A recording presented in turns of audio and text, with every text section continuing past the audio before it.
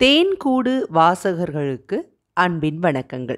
சரவணன் சந்திரன் அவர்கள் எழுதிய லகுடு நாவலின் ஆடியோ புத்தகம். வாசிப்பது உங்கள் ரே விஜயலட்சுமி. அத்தியாயம் இருபத்தி மூன்று எதேச்சையான சந்திப்புகள் ஏதாவது அமைந்து விடாதா என ஏங்கிக் கிடந்தேன். அர்ச்சனாவை பற்றி நினைக்கையில் சிந்தனைகள் வழுக்கியோடின. வேறு ஏதாவது விஷயத்தை சிந்தித்தால் இன்னொன்று வெகு சீக்கிரமாகவே குறுக்கே வரும். அவளுக்கு தெத்துப்பல் என்பதை அருகிலிருந்து பேசும்போது கவனித்தேன். சிரித்தால் சிந்தும் அழகு. பணத்தை எடுக்கும் வாய்ப்பு வந்தால் அதை சாக்காக வைத்து அவளுடைய வீட்டுக்கு போகலாம். அவள் படிக்கிற புத்தகங்கள் கேட்கிற இசை இவையெல்லாம் தனித்துவமானவை என மாணிக்க வாசகம் சொன்னான். இருவரையும் இணைத்து வைப்பதில் அவனுக்கு அதீத ஆர்வம் இருந்ததாகவும் பட்டது. போன இடத்துல ரொம்ப பட்டுட்டா. செம்பருத்தி மாதிரி விரிஞ்சு கிடந்தவ. திடீர்னு தொட்டாச்சினிங்கி செடி மாதிரி சுருங்கி போயிட்டா. என்றான். செம்பருத்தி காட்டினுள் அவளை கொண்டு போய் நடுவில் நிற்க வைத்த அழகு பார்த்தால் அம்சமாயிருக்கும். பூக்களுக்கு நடுவிலேயே பெண்கள் மேலும் பூத்து குலுங்குகிறார்கள். ஆவாரம்பூ கூடையை தலையை வைத்து கொண்டு பௌர்ணமி இரவில் அவள் நடந்து போன காட்சி கண்முன்னே வந்தது. ஏதோ ஒரு வெறுப்பால் நத்தை மாதிரி ஓட்டுக்குள் இழுத்து கொள்கிறாள். எங்களுடைய தொடர்பில் அவள் நத்தை மாதிரி ஊறுவதை தவிர்க்கவும் இல்லை. அவ்வப்போது குறுஞ்செய்திகள் அனுப்பினாள். என்னால் முடிந்த அளவுக்கு நேர்மையாக பதில் அனுப்பினேன். பிறரிடம் தூண்டில் போடுவது போல அவளிடம் முயற்சிகள் எதுவும் மேற்கொள்ளவில்லை. சந்திக்க வாய்ப்பு கிடைத்த சமயங்களில் கூட ஒதுங்கியிருந்தே நோக்கினேன். மீன் விரும்பினால் மட்டுமே தூண்டிலில் வந்து சிக்கும். எதற்கும் மசியாத அபூர்வமான பச்சை கிளி மீன். முத்து முத்தாய்தான் சொற்களை உதிர்த்தாள் என்றாலும் பார்வையில் பலதும் செய்தாள். என்னை தூரத்தில் நிறுத்தி மேலும் கீழும் பார்த்து அவள் எடை போட்டதை உணர்ந்தேன். என் குறித்து என்ன நினைக்கிறாள்? சந்திக்க வேண்டும் போல இருக்கிறது என பதில் அனுப்பினேன். நீண்ட நேரம் கழித்து கண்டிப்பாக என பதில் அனுப்பினாள். எப்போது எங்கே என கேட்க கை பரபரத்தது.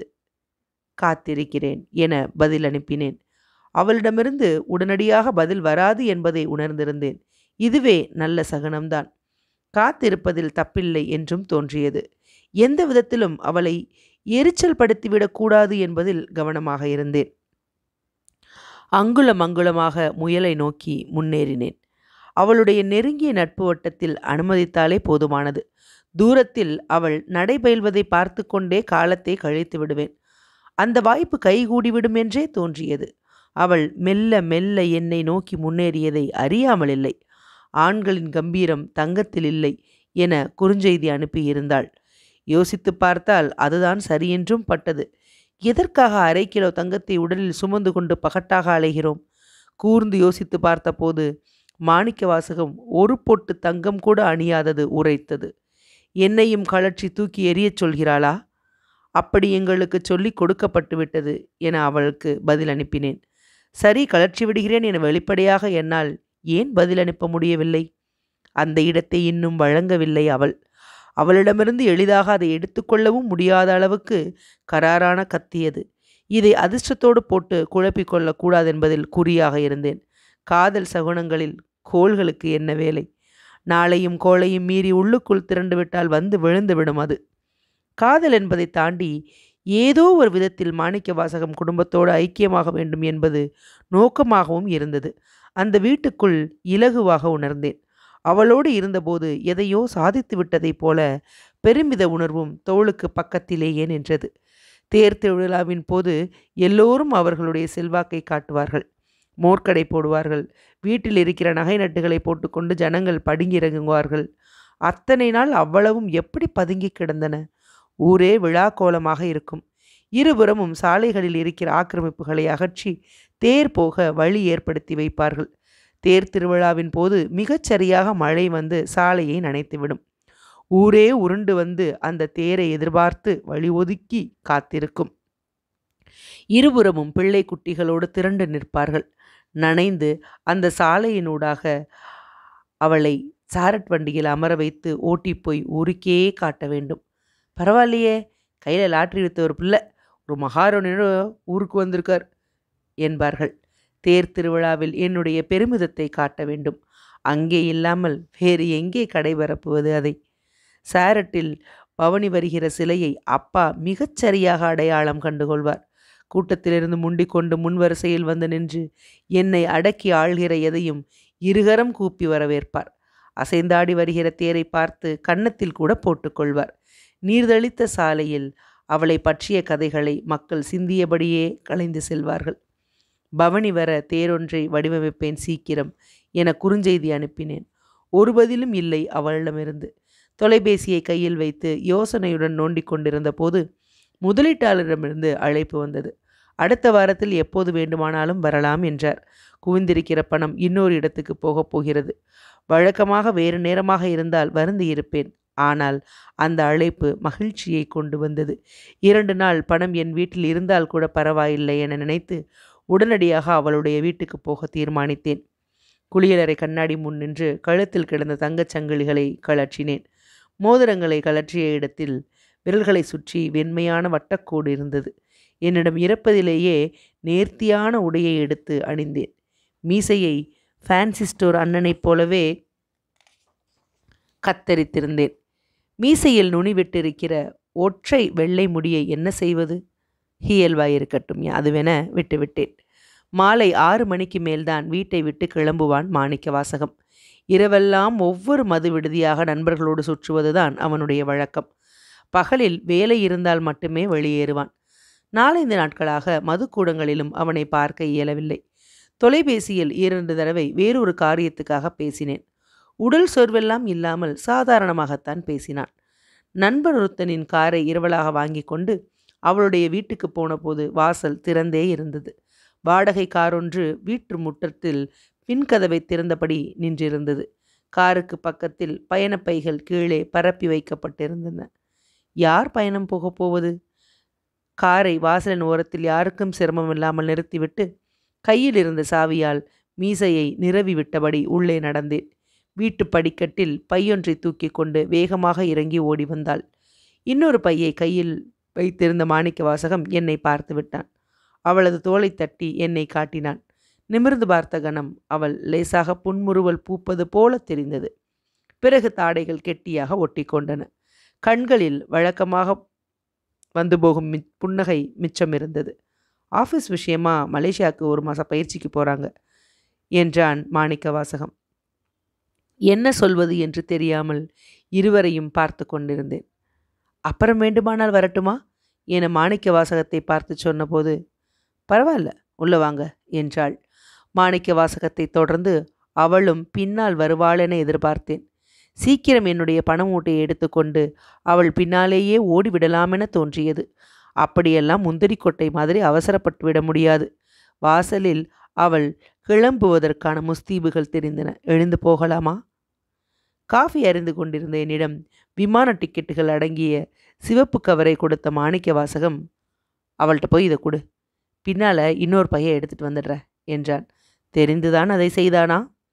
போனபோது அவளுடைய அப்பாவும் அம்மாவும் பவ்யமாக பொருட்களை ஏற்றுவதற்கு உதவி செய்து கொண்டிருந்தனர். ஒரு வார்த்தை கூட அவர்களுடன் பேசாமல் எல்லாவற்றையும் காருக்குள் திணித்தாள். நிமிர்ந்தபோது தூரத்தில் நின்றபடியே அந்த கவரை நீட்டினேன். உடனே வாங்காமல் கொஞ்ச நேரம் என் முழு உருவத்தை உற்று பார்த்தபோது சட்டை காலரை விலக்கிவிட்டேன். மாணிக்க வாசகம் வெளியே வந்து இன்னொரு கவரை கையில் கொடுத்தபோது வாங்கி கொள்ள மறுத்துவிட்டு காரில் ஏறினாள். வாசல் வரை வேடிக்கை பார்ப்பது முறையாகாது என்பதால் எல்லோரையும் முந்தி வீட்டுக்குள் வந்தேன். வாசலில் நின்றபடியே மூவரிடமும் பொதுவாக பேசிக்கொண்டிருந்த போது எனக்கும் கூட கொஞ்ச நேரம் அசந்தா தேவலன் இருக்கு. நீ கிளம்பு நாளைக்கு வந்து எடுத்துக்கோ. இன்னைக்கு நாளும் சரியில்லை என்றான் மாணிக்க வாசகம்.